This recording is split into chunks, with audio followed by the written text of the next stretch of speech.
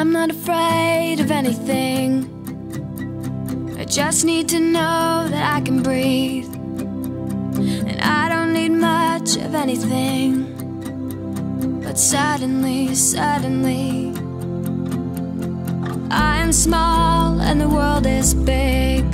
All around me is fast moving, surrounded by so many things. Suddenly, suddenly,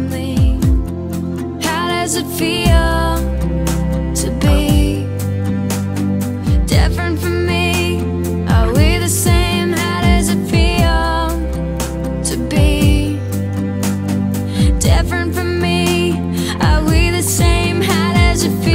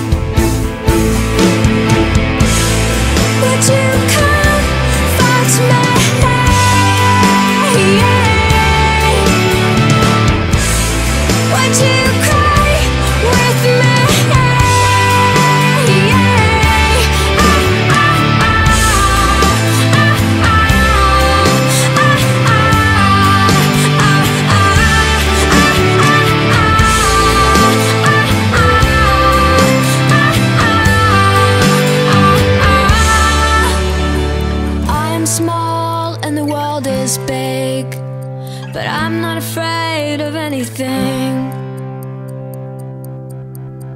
Does it feel to be